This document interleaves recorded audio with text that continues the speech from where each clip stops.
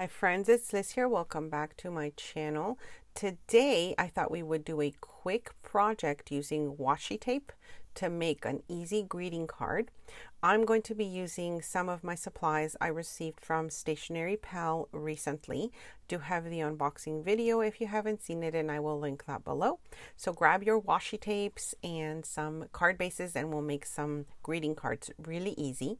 I'm also going to be showing you the latest Daphne's Diary magazine. This is the Christmas version and it was sent to me by Daphne's Diary so I'm so excited to share it with all of you. I will leave timestamps in the description box below so you can go back and forth wherever you would like to see first. So first we'll be making the easy greeting card with washi tape. Go and grab your washi tape and then um, we can see the magazine. So I hope you enjoyed this video. Remember to check out the links below and on my blog for coupon codes and links to things that I am showing you in this video.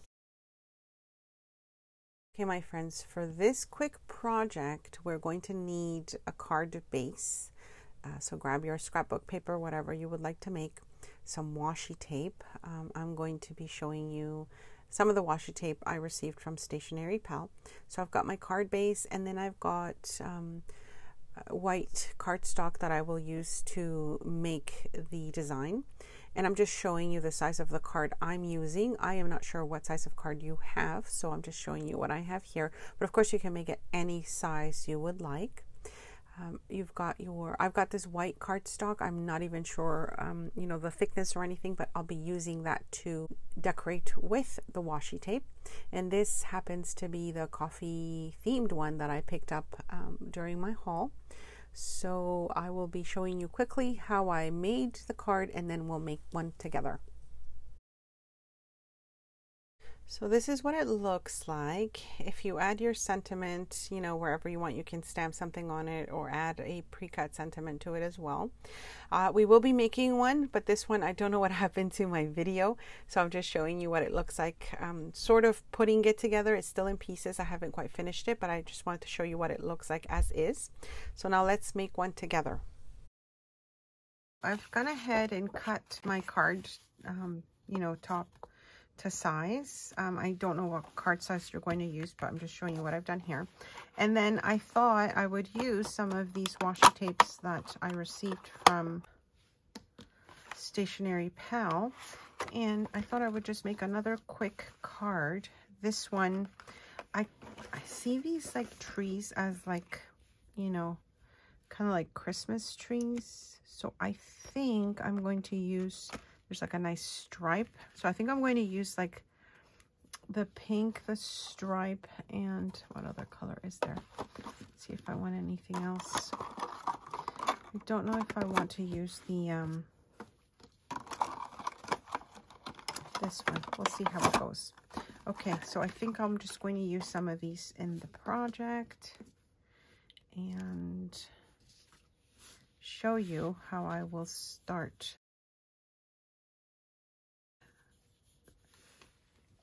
this process.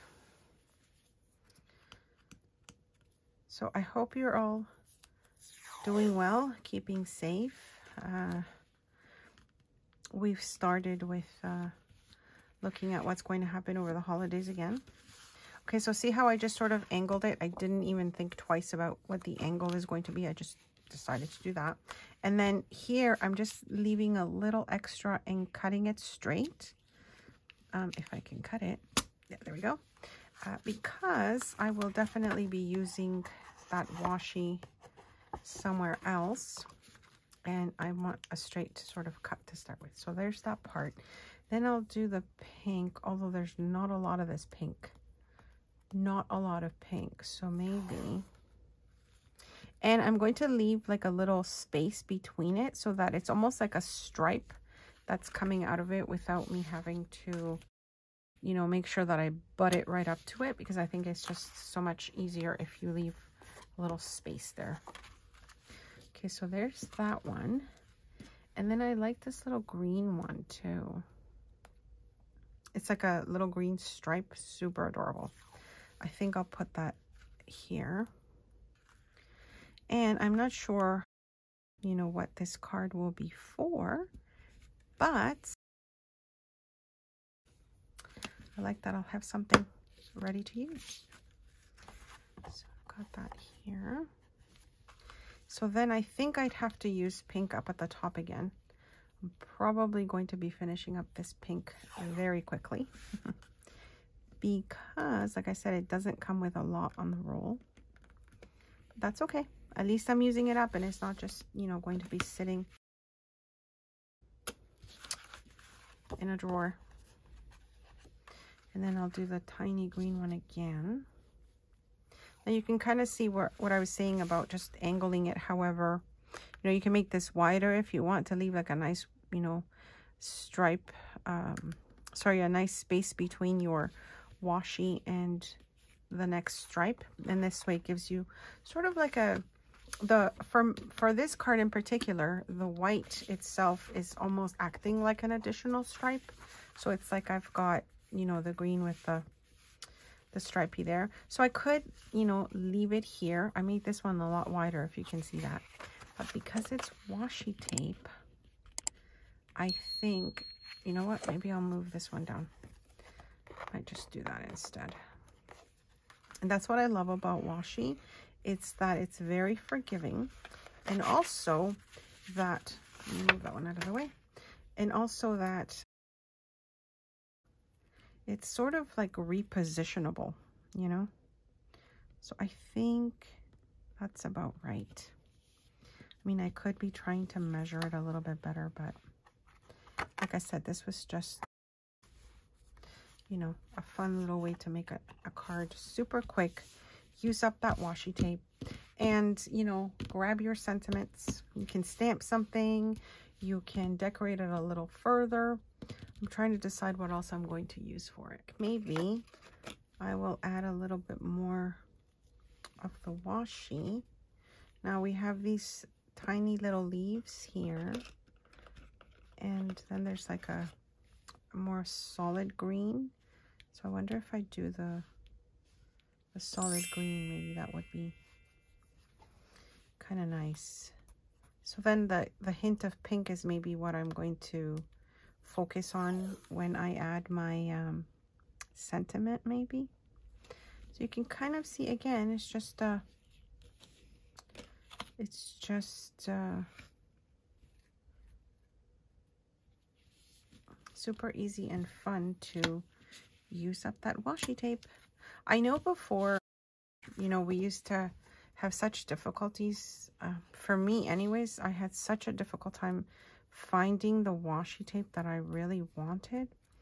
But now, you know, we seem to have a lot more access and they see it seems to be available in a lot more places now so it's kind of nice to to have that all right so here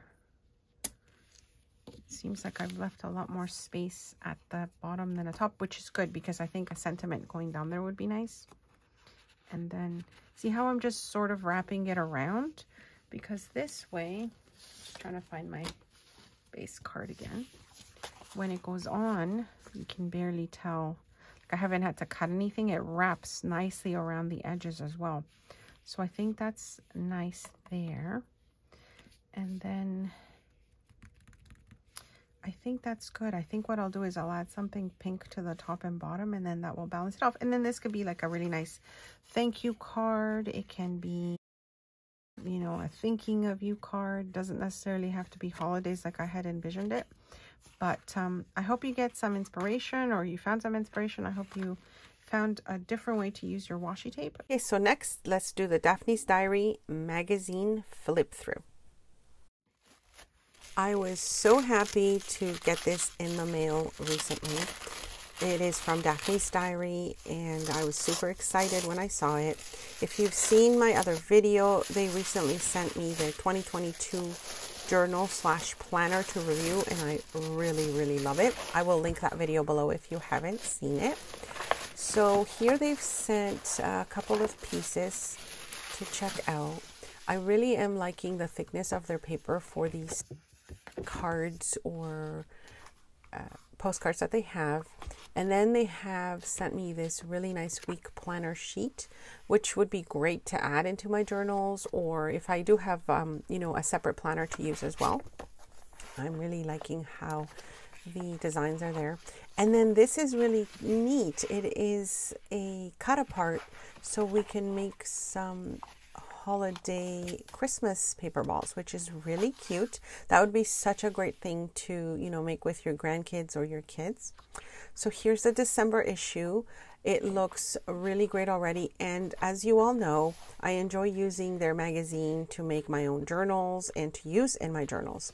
So this cover already on the inside, I can see myself using the actual magazine cover to make some journal covers for myself. So let me just walk you through, just do a quick flip through of the December issue.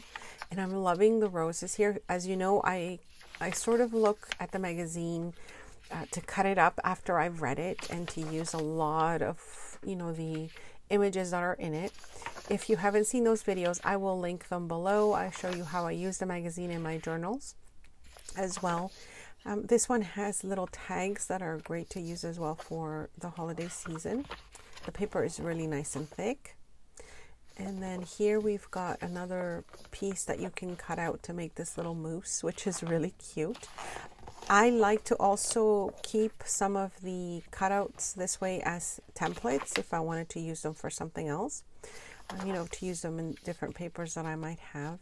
And then when it comes to these types of images, I also cut them out just to use them maybe in my journaling if it's an inspiration of an image, a color, a design. I like to keep those as well and the borders of the pages are really nice to use as your own washi tape. And they happen to have washi tape in this issue, or not washi tape, it looks like um, sticker strips, which is really nice. You can always use that, right, when you're decorating your December dailies. This is a really nice image as well. And I could cut out a lot of these pieces from what I see here. So this will be really nice to decorate the pages of my journal as you know, I really enjoy doing that. And look, they've got a little moose there that um, it could be like a place setting, which is another great idea. I hadn't even thought about that, but I'll probably be um, looking into that. I like these little teapot designs. And uh, uh, as many of you might ask me where to get the magazine, please check out their blog, sorry, their website. They will give you all the details on how to get the magazine. I used to get it at my local bookstore. I am in Ontario, Canada, and I usually go to my chapters, Indigo, and or sometimes Walmart has carried it. Um, but this one, as I mentioned, was sent to me by Daphne's Diary, so thank you so much for that.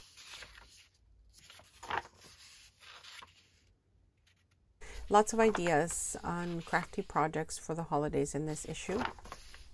And then this looks like it's a really nice uh, game that you can play. Cut out the cards and then just different things that you can do with it. And then some recipes as well. I've heard from a lot of the ladies that they cut out the recipes sometimes and put them in their journals. So that's another great idea to use those. And then last time I actually showed you with the planner what I did with some of the pages. So check that out because there's just always, you know, so many things you can do with magazines after you've read them and you know you've kind of seen whatever is inspiring you inside.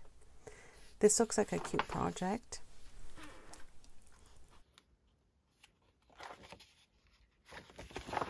These could be added to your journal pages, but I think they come with the um, some of the phrases here in the back, and I guess you can attach them to that. So it's almost like an Advent um, ornament that you can kind of read every day, which is really nice as well. Oh my gosh, that little marshmallow, such a cute idea to add to your, you know, beverage in the holidays. That is actually really cute. I might use that for my kids' um, hot chocolate this holiday season. And that's the um, the planner that I showed you. I have a flip through of the full planner, which is really lovely. I had never seen the planner before. I had not been able to get my hands on it. So I was quite happy to and I'm definitely going to be using it for the new year. Uh, we've got some additional recipes here. And then some really nice vintage looking images. These are so great if you're making a vintage style journal. And now these happen to be my favorite so far. Um, I've seen them in a couple of their magazines, and I love that they're adding these design papers, scrapbook papers on the back. So useful because we can use them for any projects that we want to. Um, of course, they've got their own suggestions on what to use them for. And then this is one of those big pullouts. When um, looking at these, I can already see so many images that I would be able to cut out and use in my journaling, my creative journaling. I really like this one. I usually don't put up these posters, but I really do enjoy cutting them up and using them in my work. Um, you know, I kind of use it as scrapbook. And of course, this is another back cover that I would totally use to make my own cover for a journal. So I hope you enjoyed this flip through. Uh, questions, comments, leave them below. Check out my other Daphne's Diary magazine flip throughs if you're interested. And check out their blog or their website for details on how to get your hands on it as well.